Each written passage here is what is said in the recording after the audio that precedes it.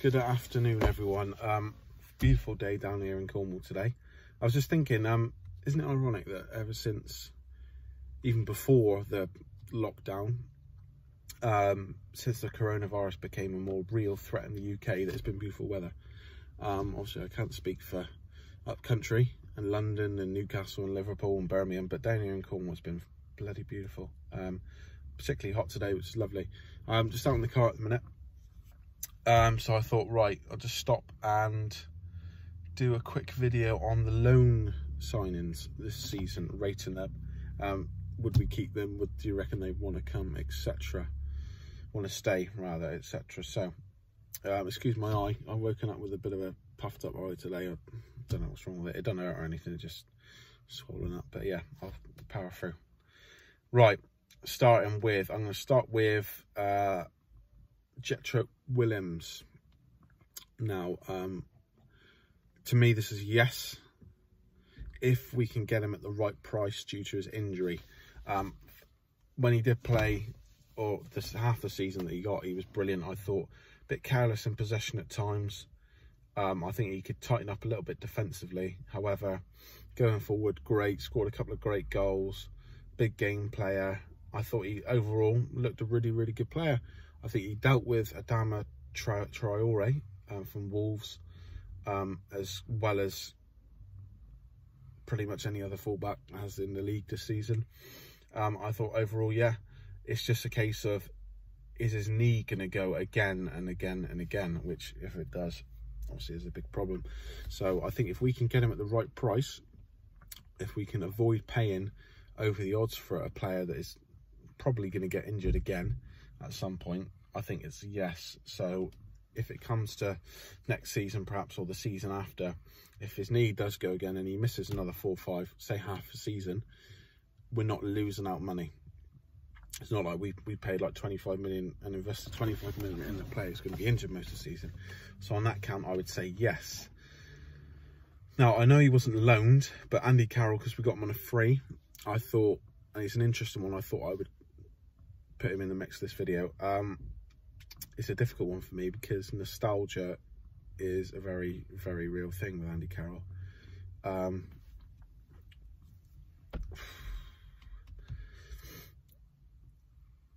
all right, we're not going to have to pay any money for him because he's a free agent.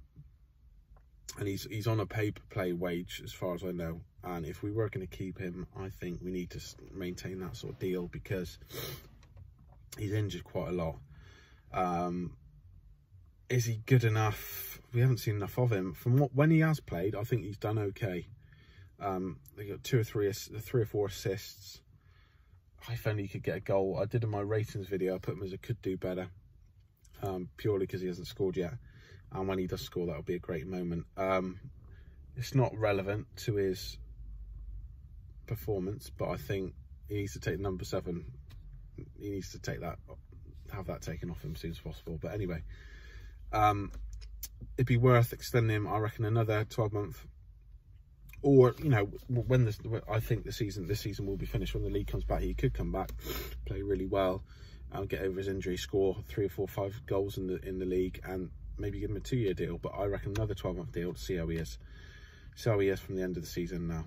Um, right, so we've got Willems out the way, got Out of the way. Danny Rose, very similar to Willems, but for different reasons. Um, first of all, would he want to stay? I think he would, because especially now that the Euros has been postponed for 12 months, it's another year where he can't afford to sit on the bench at Tottenham. And if it comes to being sold, he don't know, you know, he could go back and say no to Newcastle, and we don't know where he's going to go. Leeds, if Leeds come up and want him, I believe he'll go to Leeds. However, if he's good enough between now and the end of the season, I think he'd be a good shout. The only thing holding me back would be money. I think he'd be on hefty wages and Daniel Levy would, even though he only have 12 months left on his contract, which is crucial in the negotiating, I think Daniel Levy will push it just a little bit more where most clubs in Newcastle position would stump up the extra million, million and a half, but Mike Ashley and Newcastle will say no we shall see. If it was in my shoes, I would see how he goes from the end of the season. If he doesn't improve, I would probably go for Willems, but we'll see. Um, next on list, Nabil Bentaleb. To me, I would say no. Um, I don't think he's done anything wrong. Um, he hasn't been amazing. He's been like a five, six, six and a half out of ten every time he's played. But is he better than what we've already got? Is he better than Shelvey? No. Is he better than Matty Longstaff? Uh, maybe just through experience. Is he better than Sean Longstaff? They're about the same at the moment. Is he better than Isaac Hayden? No. Isaac and Jonjo are several rungs above him. The Longstaff boys are there or thereabouts. Sean of last season is a better player than Nabil Bentaleb.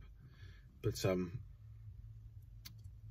he's not a bad player. I just don't think he offers a lot. He, he's a lot of safe passes, sideways passes. Um, he doesn't lose the ball, but when he does lose the ball or we lose the ball, he doesn't. He's not over enthusiastic to get it back. He's not going to be one that's running around steaming into tackles, intercepting play, and being busy in the midfield. Um, he doesn't offer the defensive stability that someone like Isaac Hayden does. He's got a good technique, but he's not a Jonjo Shelvey. He's not a goal scorer. So Nabil, all right, everyone knows it's his pre-season at the moment. When the season resumes, he might come back a lot fitter, a lot sharper, and he could improve. But as things stand, he's just a steady metronome of a player, but there's nothing... I don't think there's any one... Or does he have attributes that Hayden or Shelvey don't? no. So that's that for me. Um, Valentino Lazaro. Hmm, difficult one. I think it's known that he wants to go back to Inter Milan and that he's using Newcastle as a platform to advertise himself to Inter Milan, which a lot of people have criticised that. I don't blame him. Don't blame him at all. Obviously, he's contracted to Inter Milan. Um, and he's been sent out on loan to prove himself to Inter Milan. That's what he's doing. So fair play. Um, so he wants to go back to Inter Milan. It all depends whether Inter wants him back. Um, if he carries on playing like he did against the in the West Brom game in particular, in that attacking role, I think definite if we can get him at an affordable price, hundred um, percent. There's not a lot of right wingers around Premier League level right wingers around for Newcastle to get, for a team like Newcastle to get. So I think Lazaro, if he continue, continues to improve um, and stay away from right back, you don't we don't need you right back, pal, and he doesn't need to be a right back. He, he was dreadful against Arsenal. I, I think it was unfair. I don't see him as a right back or a right wing back. So if he can continue as a right winger, he's got decent cross on him. He's fast. He's he's good good skill, good ball control. I think if he carries on as he has been recently, excuse me, um, I think he could be a good signing come the end of the season. So, um, there we are. There we are with the loan players. Um, obviously talked about Andy Carroll as well. Um, I'm going to do another video on a major, like permanent signings, probably tomorrow. I might do one later on. Uh, Joelinton Allan Saint-Maximin, Emil Krafth, etc. Um, go into a bit more depth than I did about in the ratings videos. Hopefully my eye will go back to normal by then. I wouldn't look like such a fucking ogre on screen.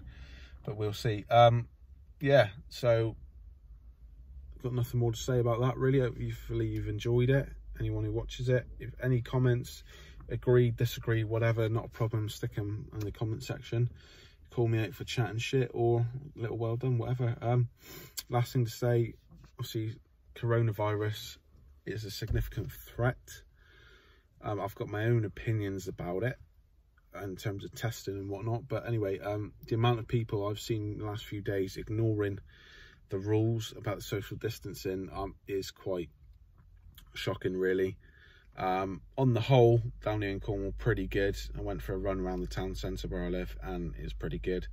But went down to Lidl the other day and it's shocking. Um, please, these rules have been put in place for a reason and the older generation, more than anything, seem to be ignoring it. You are among the bracket the most vulnerable.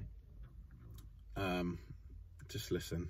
Just listen I know it's been crap, but it could be so much worse. We're not we're not in World War. We're not we're not getting bombed. Um, so yeah, it could be so much worse. Hopefully the lockdown will be lifted. Is it next Monday? Was the three week mark? Um, see what the PM has to say. Um, but yeah, hopefully you'll be soon. But while it's happening, it could be so much worse. Let's just play the game. Anyway, hopefully you've enjoyed the video. Stand by for the next one. See you later.